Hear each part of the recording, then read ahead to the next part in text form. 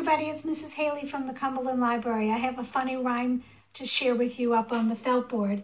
It's called Five Elephants in the Bathtub. And here's my big giant tub, and here we go.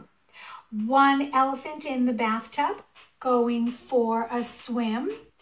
Knock, knock, splash, splash, come on in. Two elephants in the bathtub, going for a swim. Knock, knock, splash, splash, come on in. Three elephants in the bathtub, going for a swim. Knock, knock, splash, splash, come on in. Four elephants in the bathtub, going for a swim. Knock, knock, splash, splash, Come on in. Elephants in the bathtub going for a swim.